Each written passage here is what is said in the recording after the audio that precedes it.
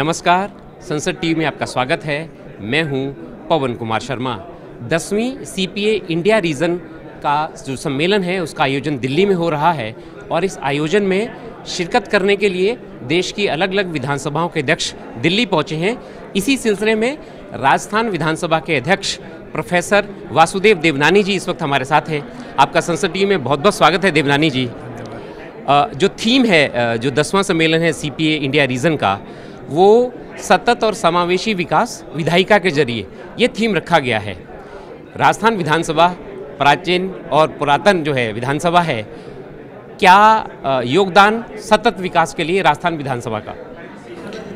निश्चित रूप से यह सतत और समावेशी विकास आज की साम्यक आवश्यकता भी है। वैसे भी हमारी जो सनातन संस्कृति है, उसका यह एक महत्वपूर्ण अंग भी रहा है। और ये तो पहले पंडित दीनदयाल उपाध्याय ने भी अंत्योदय योजना प्रारंभ की थी, जिसका उद्देश्य यही था कि अंतिम छोर तक बैठे हुए व्यक्ति तक यह विकास पहुँचे। क्योंकि विधायिका एक नीति भी निर्धारित करती है, कानून भी बनाती है और उसका क्रियाविनती भी करती है। इसलिए विधायिका का महत्वपूर्ण रोल है। हालाँकि अध्यक्ष के नाते तो एक सीमित उसमें संभावनाएँ होती हैं। लेकिन सरकार के साथ बैठ कर के इस प्रकार की दिशा दी जा सकती है। जैसे वर्तमान में केवल आर्थिक विकास ही सब कुछ नहीं है, लेकिन आर्थिक विकास के साथ शिक्षा, चिकित्सा, पर्यावरण, जल संग्रहण, यह भी आज की आवश्यकताएँ हैं, जिसमें अनुसार नीतियाँ भी बननी चाहिए।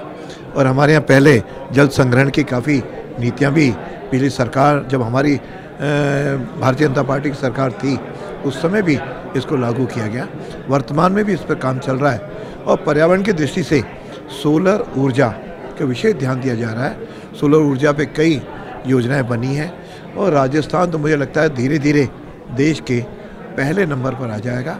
हमने विधानसभा में जो हमारा विधानसभा स्वयं की है, उस भवन को भी हम सोलर के साथ हमने जोड़ रहे हैं। साथ में जो हमारे आवास बने उसको भी पूर्णतया इस बजट में हमने सोलर के साथ जोड़ने का निर्णय कर लिया है और जल संग्रहण के लिए भी लगातार हम लोग क्रियान्वित कर रहे हैं ताकि जो हमारे पुराने तंत्र हैं, जैसे कुएँ हैं, बावड़ियाँ हैं, सागर हैं, इस बार राजस्थान में बहुत ज़्यादा बरसात हुई, जिसके कारण से कई शहरों के अंदर जल भराव भी हो गया। तो उनका एक ड्रेनेज सिस्टम थी, ठीक करते हुए जहाँ पे पानी नहीं पहुँच रहा है, यह जो एक्स्ट्रा पानी आया है ये वहाँ तक पहुँचे। इसके लिए भी हम लोग कोशिश कर रहे हैं। और सरकार के मंत्रियों से भी मेरी चर्चाएँ हुई है, जो नगरीय विकास और पंचायत राज की ताकि सोर वो योजनाएँ बनाएँ और अगले बजट में इसको ज़्यादा प्रभावी ढंग से कानून के रूप में लाएँ, ताकि जब तक जल दोहन पर नियंत्रण नहीं होगा, तब तक हम इस समस्या से नहीं सकते। क्योंकि राजस्थान में जनसंख्या के मुकाबले जल बहुत कम है। और पीने का पानी तो और कम है। इसलिए उसके प्रति जागरूकता के कार्यक्रम भी चले और साथ में व्यक्ति जल का महत्व तो समझे और उसका उपयोग एक सीमित मात्रा में करे। उसके लिए भी स्कूलों में, कॉलेजों में प्रशिक्षण है। और इस बार तो मैं सराहना करूँगा माननीय प्रधानमंत्री जी की, जिन्होंने वृक्षारोपण के लिए माँ के नाम एक पेड़ का आह्वान किया क्यों व्यक्ति का सबसे ज़्यादा प्रेम माँ के साथ होता है। उसका जोड़ते हुए वृक्ष भी रहें, लगें और साथ में उस वृक्ष का संभाल भी प्रॉपर ढंग से हो। इसलिए कई जगह वन उद्यान भी बन रहे हैं और मैं समझता हूँ कि इसलिए पेड़ लगाओ का अभियान चला, जल संरक्षण का लगा और कई जगह गाँव में इत्यादि टांके भी बने, जिसके कारण से पानी जो जल का आ रहा है, उसका भी संरक्षण करते हुए हम संग्रहण करें ताकि सही समय पर उसका भी उपयोग करते रहें। आज चूरू इत्यादि कई ज़िलों में टांकों के माध्यम से ही लोगों को पीने का पानी उपलब्ध होता है। तो इस प्रकार का आह्वान उस नीति को लागू तो कर रहे हैं, लेकिन राजस्थान में इसको और बढ़ाने की आवश्यकता है। जो माननीय अटल जी का एक सपना था कि नदियों को जोड़ने का, और वो पॉलिटिकल कारणों से नदियाँ पूरे देश भर की तो नहीं जुड़ पाई। कम से कम अपने प्रदेश की नदियाँ जुड़ें। इसलिए चंबल का पानी है, दूसरे पानी है, किस तरह से बीसलपुर के साथ उसको जोड़ा जाए, इस पर भी काम होना शुरू हुआ है। तो मुझे लगता है कि ये काम निरंतर जारी रहेगा। देवदानी जी चाहे राजस्थान की विधानसभा हो तो जैसा आपने बताया कि ऊर्जा संरक्षण पर, जल संरक्षण पर, पर्यावरण संरक्षण पर इस पर ज़्यादा ज़ोर दिया जा रहा है। इसके साथ ही विधानसभा में बहुत से नवाचार भी चलते रहते हैं और राजस्थान विधानसभा भी इस मामले में अग्रणी है। कौन कौन से नवाचार आपने राजस्थान विधानसभा में किए हैं, जिससे आप सीधे जनता से ज़्यादा और नज़दीक जो है वो दूरी जो है कम हुई है और आप उनसे ज़्यादा जुड़ पा रहे हैं? हमें राजस्थान विधानसभा बहुत ही गरिमामय रही है। कई अध्यक्षों ने अपनी परंपराओं, अपनी मर्यादाओं, अपने निर्णय से इसको सींचा है और उसी कड़ी को आगे बढ़ाते हुए हमेशा विधानसभा के बारे में धारणा रहती है कि यह तो एक बिल्डिंग है, इसमें तो केवल विधायक जा सकते हैं और वही इसके अंदर कानून बनाएँगे। तो मैं एक कार्यक्रम शुरू किया, विधानसभा जन दर्शन कार्यक्रम, जिसके तहत आम जन भी विधानसभा आ सके। उसके लिए हमारा एक म्यूज़ियम हमने पिछले दिनों में बनाया है, जिसमें उन्नीस सौ बावन से लेकर के आज तक राजस्थान का पूरा इतिहास उसमें दर्शाया गया है। राजनीतिक जीवन का भी दर्शाया गया है, स्वतंत्रता आंदोलन का भी दर्शन उसमें दर्शाया है। साथ में हमारी जो उन्नति है, हमारी जो बाकी सारी चीज़ें हैं उसको भी दर्शाया गया है।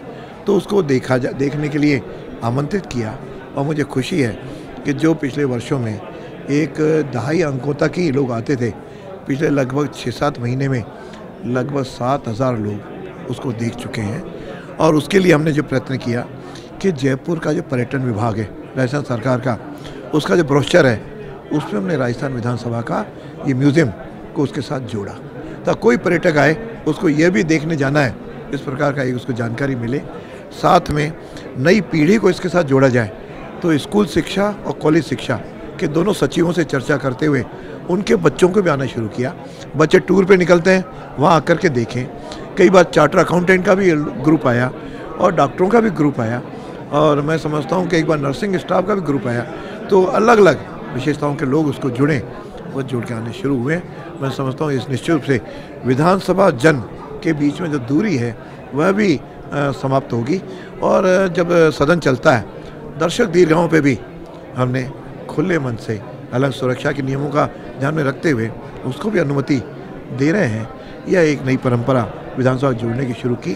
साथ में विधानसभा हमेशा जो इसलिए बनी है सार्थक बहस हो और मुद्दे उठें और मुद्दों का निदान भी हो। इसके दृष्टि से एक तो अधिक दिन सदन चले। उसके मुझे ध्यान है कि इस बार शायद हम काफ़ी दिनों बाद, तीस दिन अभी सत्र चल चुका है। आगामी कुछ बाकी एक सत्र तो उसमें कुछ और अधिक चलेगा। तो सदन की बैठकें अधिक हों और उसमें पक्ष विपक्ष दोनों हों। उसके लिए सर्वदलीय बैठक पहली बार राजस्थान विधानसभा में हमने प्रारंभ की है। फिर समितियाँ अकाउंटेबल बने। इसलिए पहली बार हमने समितियों के अध्यक्षों की भी मीटिंग बुलाई। किसने कितने विषयों का परीक्षण करवाया, कितने प्रकरण निरा, उसका निराकरण किया, इस सब की समीक्षा हुई। और उसमें कई बार जानकर में कोई सदस्य कम आ रहे हैं तो उनको व्यक्तिगत पत्र लिख के भी आग्रह किया कि आप इसमें आया करें, ये अपनी ड्यूटी बनती है। तो उसके कारण से उनका पार्टिसिपेशन बढ़ा है। मैं इस प्रकार का भी एक आग्रह किया है। एक व्हाट्सअप पत्र, वह भी वीकली हमने शुरू किया है तो विधानसभा की सारी जानकारियाँ उसमें एक कॉलम रहता है, किस विधायक ने अपने यहाँ क्या अच्छा काम किया, उसका भी उसमें उल्लेख हो। और इस बार हमने एक दिन की चर्चा केवल इसी मुद्दे पे करा, कराई कि किस विधायक ने अपने क्षेत्र में कौन सा नवाचार किया। ताकि सब लोग उसको जाँच सकें। इस प्रकार नए नए कुछ प्रयोग हम लोग कर रहे हैं और अभी इसको पेपरलेस बनाने का हमने निर्णय किया है। उसमें ई विधानसभा के नाम से प्रोजेक्ट लिया है। उसका काम शुरू हो गया है। हमारा अगला सत्र पेपरलेस होगा और नीवा के प्रोजेक्ट से हर स्टेप पर कंप्यूटर ई पैड होगा। उसको घर पे भी होगा, ताकि उसी पे क्वेश्चन पूछ सके, उसी पे उसका आंसर में उसको मिल जाए, और विधेयक वगैरह उस पर आए। इस प्रकार का एक नवाचार शुरू किया। तो राजस्थान विधानसभा के अध्यक्ष हैं प्रोफेसर वासुदेव देवनानी। उनका कहना है कि राजस्थान विधानसभा को जनता से जोड़ा जा रहा है, लोग वहाँ पे पहुँच रहे हैं, और उसकी प्रोडक्टिविटी भी बढ़ रही है, और उसमें नवाचार भी हो रहे हैं। पवन कुमार शर्मा संसद टीवी, नई दिल्ली।